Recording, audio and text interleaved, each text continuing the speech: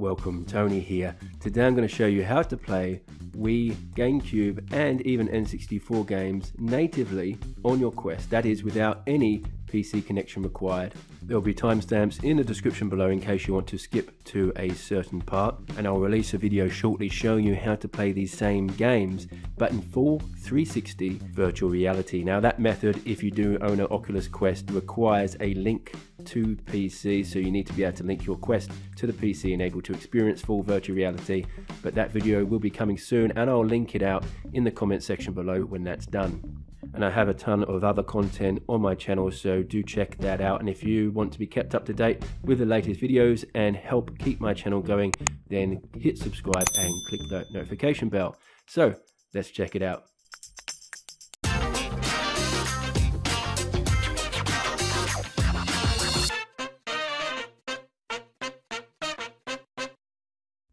Now first I'll showcase some of the games I played. This is House of the Dead 2 on the Wii. Now I played this by holding down the trigger on the Oculus controller and using it like a light gun. Then in my left hand I have a Bluetooth Xbox controller connected to my Quest and when I want to fire I just press a button on that controller to shoot. Now this game runs okay, there is some lagging and jogging and particularly with the more graphically intensive scenes. So you're going to find those GameCube and Wii ROMs range from games which are almost unplayable to those games that actually run almost perfect. Now Smash Brothers worked quite well as did Super Mario Sunshine and you can also play N64 games although the Dolphin emulator doesn't officially support them you can get some cracked N64 games that work on the GameCube. So here I am playing Star Fox and it works really well. And you can even crack the N64 ROMs yourself. I have a link down in the description below that guides you on how to do this.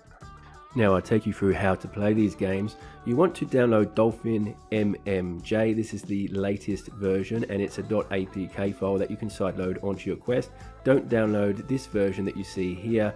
This doesn't have a great user interface, plus it crashes when you try to open the user interface when you're playing the game. Now, you just sideload it using SideQuest. I have a link to a guide on SideQuest in the description below. Once you sideloaded it, make sure you run the emulator first. Then you connect your Quest to your PC, you open it, go into internal storage, and just make a ROMs folder. So this ROMs folder will obviously contain your ROMs for Wii and GameCube and any cracked N64 ROMs that you have too. So these ISO files here are my ROMs. So when you go in, you can just select that plus button, you select your ROMs folder, click OK, and your ROMs should come up. Now I'm going to take you through the settings that I have on this emulator. I'm not saying these are the best settings, but I found them to work for the games that I've been playing. And so these are the settings that I'm using, but it's well worth checking out other forums and videos just to get a better idea of what these settings do. So while you're looking at my settings here, I'm just going to mention a few things. Like I say, I'm not an emulation expert.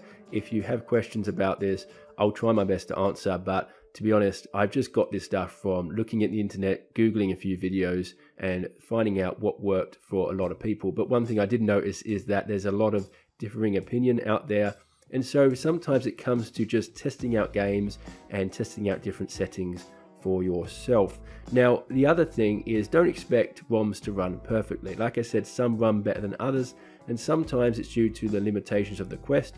Sometimes it's just the compatibility of that ROM with the emulator and sometimes there is a setting you can change that will make it run better. But like I say, don't go in expecting perfect emulation because likely you're not going to get it. And I'll add, if you're playing N64 ROMs, I might suggest that this is probably not the easiest way to do it. I'll download something like a RetroArch, for example, um, that has N64 emulators, and you can play the ROMs in their native form. You don't have to crack them. So that's a lot of easier way to do it. I just want to show you how to do it this way, just to really show you that it can be done if you want. So I'm going to show you now how to play light gun games like House of the Dead. If you go into settings, you go to Wii input and I've uh, connected an Xbox controller via Bluetooth.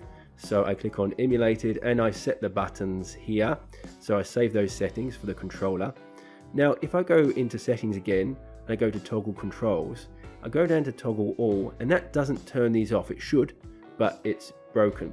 So instead I go to edit layout and that allows me to move these controls right to the bottom left and right hand corners so they're not in the way and that seems to work just fine. Now I click done to set those buttons where they are and then go back into settings I go to config and I make sure touchscreen emulate IR is switched on and there you go, I'm ready to play this game using my Oculus controller and the uh, Xbox controller too. Now you can also play House of the Dead 3, but like House of the Dead 2, you get some frame drops. It's certainly playable, but it's not the best emulation.